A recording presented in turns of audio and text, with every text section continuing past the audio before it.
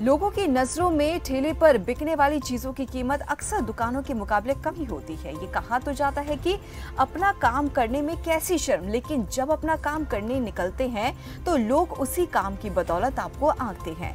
सवाल पूछते हैं और राय भी दिया करते हैं। ऐसी ही कहानी है इक्कीस साल के इंजीनियर की छात्रा की, जिसने अपना जीवन यापन करने के लिए पढ़ाई के साथ साथ गोलगप्पे बेचने का भी फैसला लिया। हम बात कर रहे हैं बीटेक पानीपुरी वाली के नाम से मशहूर तापसी उपाध्याय की, जिन्होंने लोगों को गोलगप्पे खिलाकर न केवल उनका दिल जीता, बल्कि लोगों के चाट के शौक को भी पूरा किया। यहाँ पर आप तस्वीरों में भी देख सकते हैं कि तापसी उपाध्याय जिनकी हम बात करते हैं, वो हमारे साथ थोड़ी देर में जुड़ेंगे, लेकिन उससे पहले उनके बारे में ज़रा आपको डिटेल में बता दें कि इंजीनियरिंग की पढ़ाई करी थी और उसके बाद ही साथ साथ पढ़ाई के साथ साथ ही उन्होंने गोलगप्पे का बिज़नेस भी शुरू किया। और जिन तापसी की आज हम बात कर थे वो हमारे साथ इस खास कार्यक्रम में जुड़ गए। तापसी बहुत बहुत स्वागत है खबर फास्ट पर आपका। Thank you so much ma'am Taapsee मेरा पहला क्वेश्चन आपसे ये है कि कहाँ से आपको ये आइडिया आया कि आपको गोलगप्पे का बिज़नेस शुरू करना चाहिए?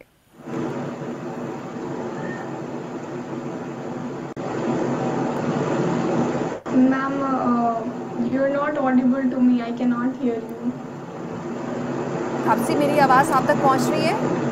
आपकी आवाज़ पहले मुझे आ रही थी लेकिन अभी मुझे आवाज़ नहीं आ पा रही है। ओके okay, अभी क्लियर है आवाज़?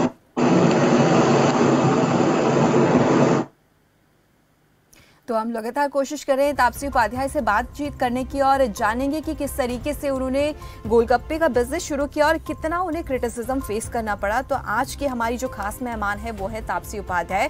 और आपको ये भी बता दें कि वो इंजीनियरिंग की पढ़ाई कर रही थी बीटेक की पढ़ाई करी थी। उसके साथ ही उन्होंने गोलगप्पे का बिज़नेस जो है वो शुरू किया। और आज आपको बता दें कि काफ़ी अच्छा मुनाफा जो है इस समय कमा रही है। और आपको ये भी बता दें, तस्वीरों में भी आप देख सकते हैं कि किस तरीके से तापसी उपाध्याय स्कूटी के साथ अपने ठेले को लेकर आती है और अपना काम जो है, अपनी दिनचर्या जो है, वो शुरू करती है। तो काफ़ी लोगों का दिल जीता है और आपको ये भी बता दें कि दिल्ली में अक्सर चाट का बहुत शौक है लोगों को और ऐसे में तापसी उपाध्याय जो है, लोगों का दिल जीतती हुई भी नज़र आ रही है। आज उन्हीं से हम लोग बातचीत करेंगे और जानेंगे कि कितना उन्हें आलोचना लोगों की है, वो सहनी पड़ी थी और कितना सपोर्ट उनको मिलता हुआ दिखाई दिया है उनके माता पिता की तरफ़ से। तापसी बहुत बहुत स्वागत है खबर फ़र्स्ट पर आपका। Thank you so much ma'am जी तापसी सबसे पहले मेरा सवाल आपसे ये है कि गोलगप्पे का बिज़नेस शुरू करने का आइडिया आपको कहाँ से आया? गोलगप्पे मैम गोलगप्पे ही स्टार्ट नहीं करने थे। ऐसा नहीं था कि ये कहीं बैक ऑफ़ द माइंड में था मुझे बचपन से गोलगप्पे बेचने थे। लेकिन मुझे हेल्दी वर्जन ऑफ़ फ़ूड की अवेलेबिलिटी करवानी थी स्ट्रीट्स पर। तो I came up with this idea कि चलिए मैं खुद ही स्टार्ट करती हूँ क्योंकि मेरी ही नहीं ये पूरी सोसाइटी की एक प्रॉब्लम है कि हम्म। आपको अफोर्डेबल प्राइसेस में hygienically prepared quality food healthy healthiness के साथ तो नहीं मिलता है। तो पानी पूरी को मैंने हेल्दी बनाया द रीजन बिंग कि पानी पूरी जो है वो नेशन वाइड बहुत ज़्यादा पसंद की जाती है। और लोग बहुत ही बहुत ही प्यार से खाते हैं बहुत ही उनका पसंदीदा ये एक स्नैक होता है तो इसलिए पहले पानी पूरी से मैंने शुरू किया। जी। तापसी, मेरा अगला सवाल आपसे ये है कि हम देखते हैं, चाहे किसी भी स्टेट की हम लोग बात करें तो गोलगप्पे एक ऐसी चीज़ है जो मतलब हर जगह मिलते हैं। तो आपकी आपके जो गोलगप्पे, आपका जो बिज़नेस है, ऐसी क्या कुछ खासियत है कि लोग सबसे ज़्यादा अट्रैक्ट होते हैं आपकी तरफ़?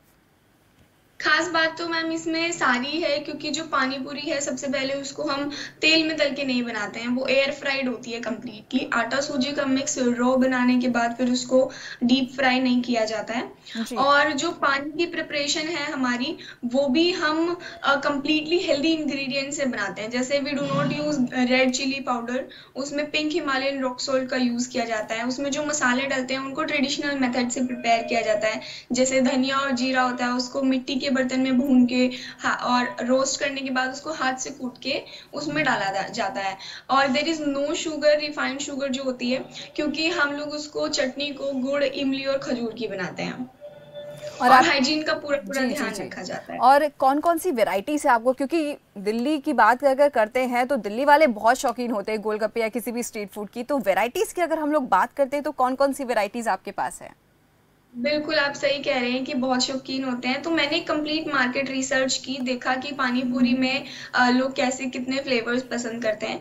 तो जो मेजरली है वो लोग खट्टा, मीठा और तीखा ही पसंद करते हैं।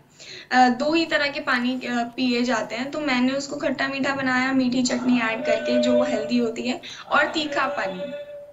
जी। तापसी करंटली अगर हम लोग बात करें तो आपके कितने आउटलेट्स हैं इस समय और कहाँ-कहाँ हैं?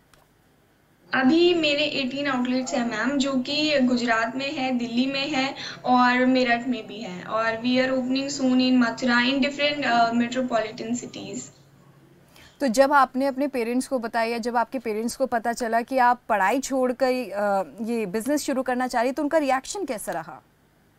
नहीं मैम ऐसा नहीं था कि मैंने अपनी पढ़ाई छोड़ी है। इसके लिए today also I am having exam of artificial intelligence तो उसके लिए मैं पढ़ी हूँ लेट नाइट तक।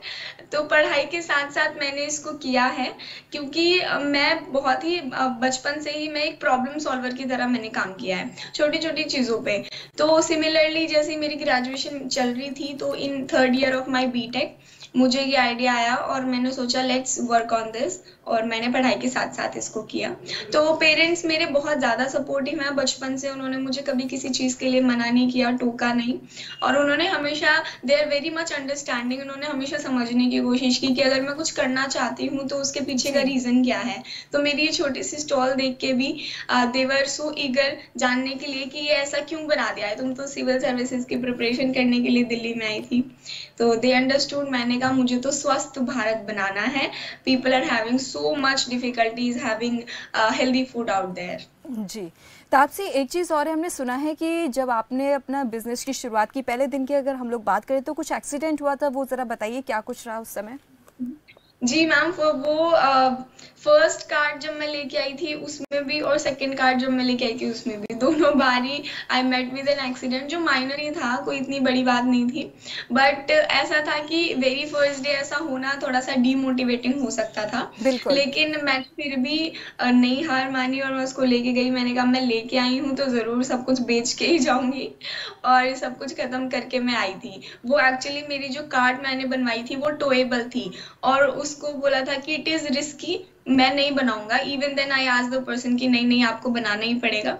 और वो फ़र्स्ट डे उसका जो दोनों आगे के जो व्हील्स होते हैं उसका वेल्डिंग जो था वो डी अटैच हो गया था और वो कार पूरी आगे की तरफ़ पलट गई थी। जी। तो आपसे एक लास्ट क्वेश्चन मेरा आपसे आप क्या मैसेज देना चाहेंगे उन लोगों को जो सोचते हैं कि अपना काम शुरू करना जैसे कि आपने गोलगप्पे का बिज़नेस शुरू किया है वो थोड़ा नेगेटिवली ले जाते हैं उस चीज़ को तो उनके लिए क्या कुछ मैसेज है? मैम देखिए it is the perception of the person जैसे हम कहते हैं कि जि, जिसकी जैसी सोच होती है वो वैसा ही सोच सकता है। और हमेशा लोग अच्छा ही नहीं सोचते हैं तो हमेशा लोग बुरा भी नहीं सोचते हैं। ठीक है तो लोगों की सोच तो बदलती रहती है। आप लोगों के बारे में चिंता ना करें। आप अपनी सोचें कि आपको क्या करना है और वो कैसे the society as a whole को वो बेनिफिट कर सकता है। इफ़ इट बेनिफिट्स और आपके इंटेंशंस क्लियर हैं तो जो मन करे आप वो करिए। चलिए बहुत बहुत धन्यवाद तापसी उपाध्याय। आप हमारे साथ जुड़े और कीमती वक्त आपने हमें दिया है तो ये थी हमारे साथ तापसी उपाध्याय, जिन्होंने पढ़ाई के साथ साथ हालाँकि वो पढ़ाई भी कर रही हैं अभी, और उन्होंने अपना काम भी शुरू किया है, ताकि अच्छा भविष्य उनको मिल सके, और ऐसी कहानियों से आपको रूबरू करवाते रहेंगे।